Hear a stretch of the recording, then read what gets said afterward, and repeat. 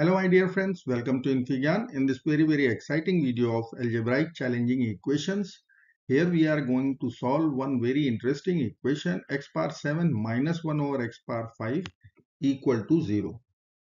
As you can see, x is in the denominator, so x equal to 0 is not allowed. That means I can multiply both sides with x power 5 so let's multiply both sides with x power 5. So I will write x power 7 minus 1 over x power 5 equal to 0 times x power 5. So ultimate equation will come out x power 12 minus 1 equal to 0. This equation we are supposed to find out roots for this particular equation. Now I will solve using algebra. See using complex number it is quite easier if you will see. Let's apply algebra only. So I am going to write x power 12 as x power 6 whole square. And this 1 I will write 1 square. Using the exponent property that is a power b whole power c it is equal to a power b times c. So 6 times 2, 12. Now difference of a square formula.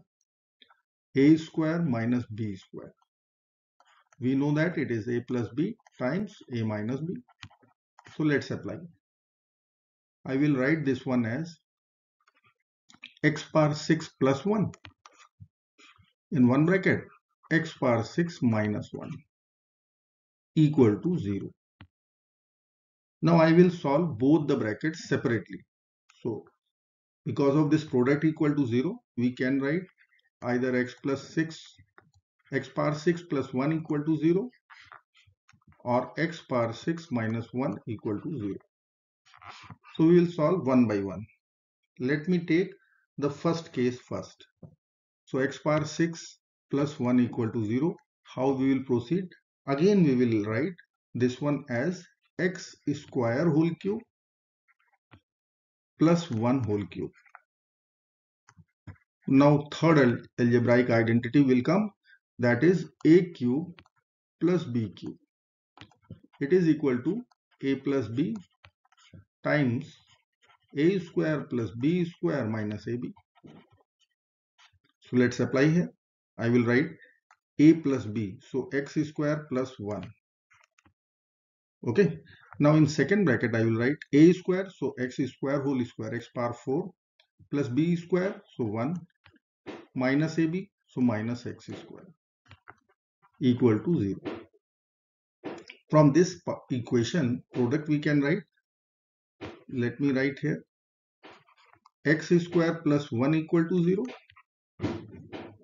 so I will write x square is equal to minus 1 and you know in complex number i is equal to square root of minus 1 or i square is equal to minus 1 square is negative so obviously complex solution is about to come. So i will write x square is equal to i square. That means x is equal to plus minus i. Okay? Now let's take the second equation now let's consider this equation, quartic equation. I will write x power 4 minus x square plus 1 equal to 0. x power 4 minus x square plus 1 equal to 0. So it is quadratic in x square. So I can write x square is equal to. It is quadratic in x square. So if you want to write give substitution, you can give substitution also. So minus b minus b so 1 plus minus square root b square minus 4ac over 2a so i will write 1 plus minus square root negative 3 so i will write i times square root 3 over 2 okay? So this is your complex solution. So if you want to convert in complex number you can write it is e raised to the power plus minus i pi by 3 this is we can write plus minus i pi over 3 so x will come out take square root both sides. From here we will collect four solutions. Okay.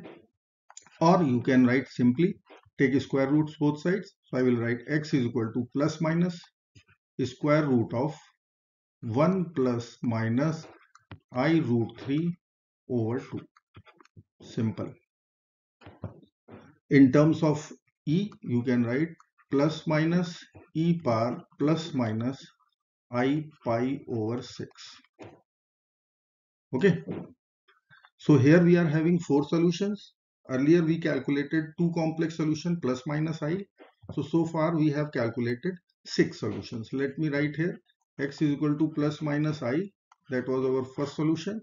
And see this is our four complex solutions. So total six complex solutions so far. Now come to equation number two that was x power 6 minus 1 equal to 0. Now we are going to solve this equation.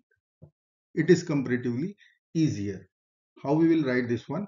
Again whole square, the difference of two squares. x cube whole square minus 1 whole square. So difference of square a plus b. So I will write x cube plus 1 a minus b x cube minus 1. Now again a cube plus b cube. So I will write a plus b a square plus b square minus ab. And from second x cube minus 1 bracket we can write a minus b a square plus b square plus ab. So here we are having four roots. Okay. So two roots are clearly visible. So I will write x plus 1 equal to 0. So x is equal to minus 1. One first real solution. Now second bracket. This bracket I am taking. x minus 1 equal to 0. So x is equal to 1. Now there are two quadratic equations. Now we have to find out solution. So either I can write only once. Let me write in this pattern x square minus x plus 1 equal to 0 it was. X square plus x plus 1 equal to 0 so in totality i can write x square plus minus x plus 1 equal to 0 or you can solve separately also. Let's solve it. So i will consider x square plus minus x plus 1 equal to 0 Let's apply quadratic formula. So x is equal to minus b.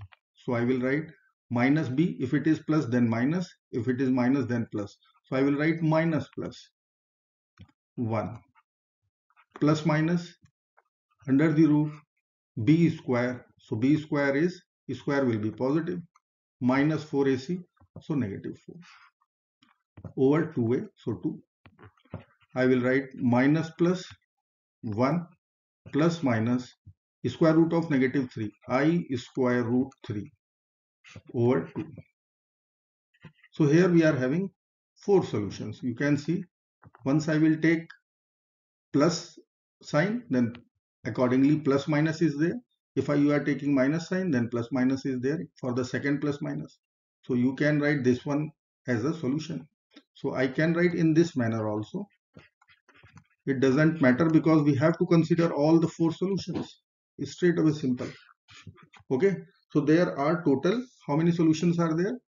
Total 12 we have calculated. And this is how we will proceed this question using algebra only. I hope you like this video. Thank you so much for watching. Do not forget to like share and subscribe. Bye bye till next video